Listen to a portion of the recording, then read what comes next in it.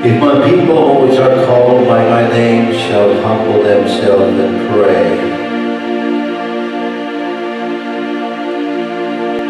seek my face and turn from their wicked ways. He says that we will hear from heaven. He will forgive our sins. He'll open our eyes open our ears.